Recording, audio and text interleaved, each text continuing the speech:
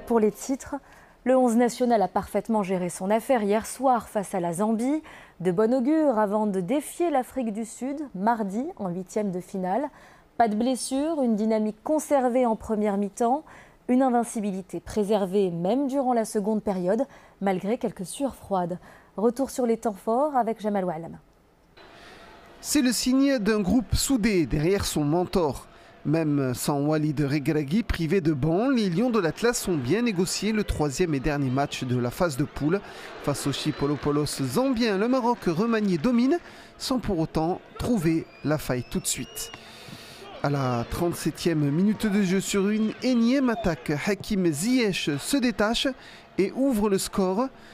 C'est son 22e but en 57 sélections, ce qui en fait le troisième meilleur buteur des Lions de l'Atlas derrière Ahmed Faras et Salahdin Basser. Je voulais vraiment euh, montrer que, je pouvais jouer et, aider l'équipe. Donc, alhamdoulilah, ça s'est bien passé. Les coéquipiers aussi, euh, même si je connaissais la plupart des joueurs, voilà, euh, m'ont beaucoup aidé. Et, et je me sens vraiment très bien dans, dans, au sein de cette équipe. Donc ça fait plaisir, on a fait l'essentiel aujourd'hui. Maintenant, on est tous concentrés pour, pour la suite de la compétition. Le Maroc prend l'avantage et ne va plus le lâcher sans pour autant réussir à creuser l'écart malgré des occasions en fin de match, comme celle de Tarek Tissoudali qui bute sur le portier adverse. 1-0 score final. Les Lions de l'Atlas terminent en tête du groupe F avec 7 points récoltés en 3 rencontres. Ils sont toujours derrière nous, très contents. C'est un plus à chaque fois pour nous. Donc euh, voilà, un grand merci et j'espère qu'ils seront encore plus nombreux. Le Maroc reste à San Pedro et jouera son huitième de finale mardi prochain. Ce sera face à l'Afrique du Sud. Et dès la fin du match, les milliers de supporters marocains présents dans les gradins se sont retrouvés aux abords du stade San Pedro pour faire beaucoup de bruit. Une manière de célébrer cette victoire et la qualification du 11 national. Reportage de nos envoyés spéciaux Amin Haddour, Douane Boarok, Mehdi Swaben, le récit de Yassine Lazez.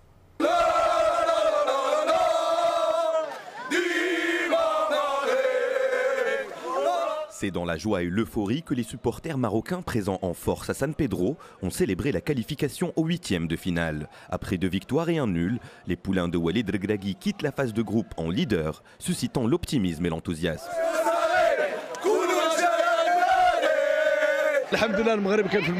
L'équipe a montré un bon niveau. J'ai beaucoup aimé la confiance des joueurs et leur jeu collectif.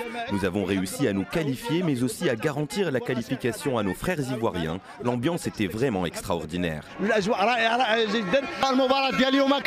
Le Maroc était encouragé par les Marocains, mais aussi par les Ivoiriens. Sur la route, nous avons vu qu'ils plaçaient en nous tous leurs espoirs. Nous avons réussi à gagner et à les rendre heureux. Vive le Maroc! Venus des quatre coins du monde pour encourager et soutenir les Lions de l'Atlas, les supporters marocains n'ont pas regretté d'avoir fait le déplacement, satisfaits du rendement de l'équipe depuis le début de la compétition. J'appelle les Marocains à venir vers la Côte d'Ivoire. L'équipe a besoin d'eux. Notre force, c'est notre public. Nous sommes très heureux grâce à cette place de leader. Nous offrons cette victoire à Sa Majesté le roi Mohamed VI. Vive le Maroc. Dans les rues de San Pedro, dès le coup de sifflet final, les supporters marocains ont partagé leur joie avec les supporters ivoiriens. Mais désormais, le match prochain contre l'Afrique du Sud est dans toutes les têtes. Et vous l'avez vu, les supporters marocains pouvaient compter sur les cris d'encouragement des Ivoiriens, présents en nombre également au stade. La Côte d'Ivoire n'avait plus son destin entre ses mains. La victoire des Lions de l'Atlas signe automatiquement la qualification des éléphants. Un destin croisé à l'origine d'une joie maroco-ivoirienne. Reportage de nos équipes sur place commenté par Oussama Bakrali. Après une trentaine de minutes qui ont vu la dominance des Lions de l'Atlas sur l'équipe nationale zambienne, Hakim Ziyech marque l'unique but de la rencontre. Dans les gradins comme derrière les petits écrans, les supporters ivoiriens sont soulevés par l'euphorie d'une chance de se qualifier. Une euphorie toujours présente à la fin de la rencontre grâce à la victoire du Maroc. Ouais, tout à fait, c'est vraiment mérité, tout à fait mérité. Vraiment, il y a eu haut d'abord pour le Maroc. Grâce à Maroc, aujourd'hui, on va avancer devant. Ah, merci Maroc, merci. On n'oubliera jamais ce merci. On vous remercie, on vous remercie même. Vraiment, merci beaucoup. On vous doit beaucoup de choses. Merci à vous.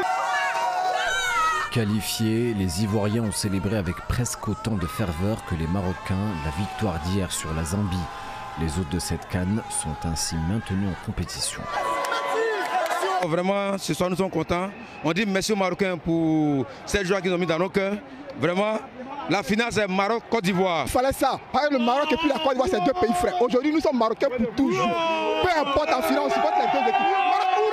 Le Maroc nous a évité l'humiliation. Grâce à notre frère marocain, aujourd'hui, nous sommes qualifiés. Merci au Maroc. Dis-moi Maghreb, dis-moi Sa Majesté, le roi, que Dieu le bénisse.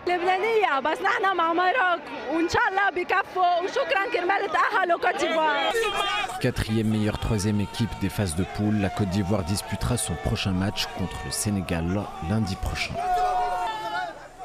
Et pour fêter ce succès des Lions de l'Atlas, plusieurs scènes de liesse ont eu lieu évidemment du nord au sud du royaume, dans les cafés comme dans les rues des plus grandes villes.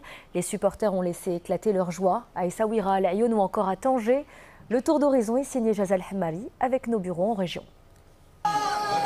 Explosion de joie pour l'unique but de la rencontre et pourtant, il n'y avait aucun enjeu pour le Maroc. Le 11 national a en effet entamé sereinement ce match contre la Zambie et a fait vibrer les supporters. Dans ce café tangérois, la fête s'est poursuivie jusque tard dans la nuit.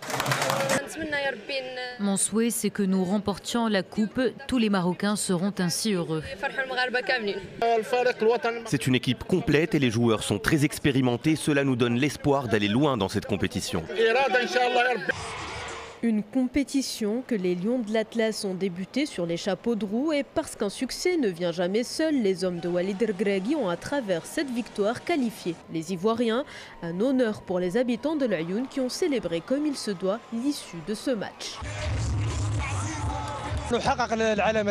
C'est amplement mérité et nous espérons que cela sera ainsi jusqu'à la finale. Notre joie est incommensurable, cette qualification nous honore, dit Maghreb.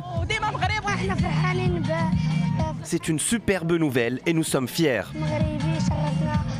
Une fierté, un bonheur et l'envie d'aller plus loin. L'équipe nationale pourra en tout cas compter sur le 12e homme mardi prochain, comme ici à Essaouira, pour un soutien indéfectible à ceux qui continuent d'écrire leur histoire. Les Lions de l'Atlas ont donc fait le job face à la Zambie, mais devront monter le curseur pour le prochain match face à l'Afrique du Sud. Rendez-vous est donc pris mardi prochain à 21h. À 21h.